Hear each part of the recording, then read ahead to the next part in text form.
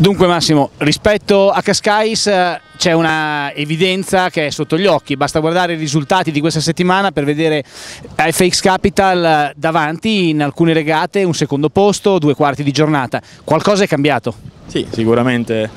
eh, come hai detto tu, da Cascais è tutta un'altra cosa. Eh, siamo arrivati qui in Austria con eh, proprio il desiderio di un riscatto, molto concentrati. Eh, sicuramente l'innesto di, di Francesco Bruni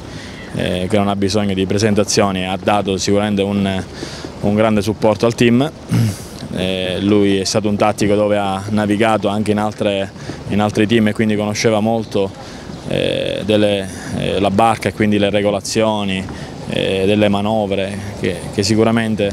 eh, si è migliorato molto. E sono molto contento veramente del, del risultato, come abbiamo detto sempre, eh, per noi quest'anno è sempre tutti i risultati che facciamo è sempre un ottimo risultato, quindi quest'anno è un anno transitorio e quindi per quello che stiamo facendo e come stanno andando le cose sono abbastanza felice.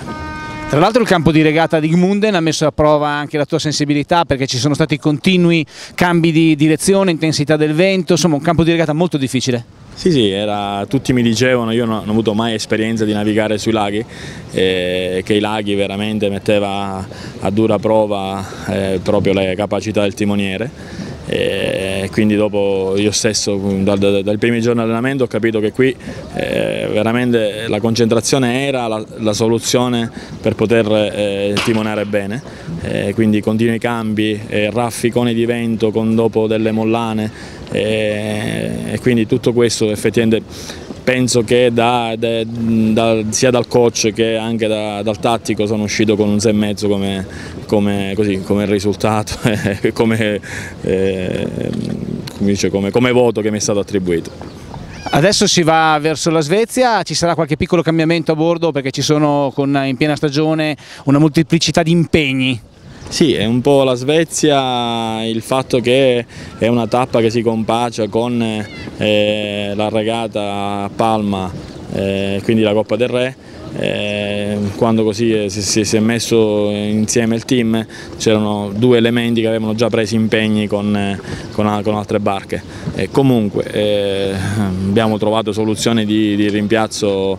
di, gente che proprio ha navigato nell'RC44 e sicuramente dico, mm, arriviamo in, in Svezia con una, con una squadra abbastanza sempre forte e sempre performante. Siamo a metà della stagione, in conclusione di questa intervista una riflessione sulla classe RC44. È come te l'aspettavi, eh, c'è grande equilibrio, un grande livellamento, tra l'altro mi è sembrato di vedere anche un grande spirito di collaborazione tra gli equipaggi fuori dall'acqua, in banchina, consigli da parte di tutti, insomma c'è uno spirito vero, uno spirito fresco all'interno della classe. Sì, sicuramente la, la, scelta, sono sempre felicissimo di aver fatto questa scelta dell'RC44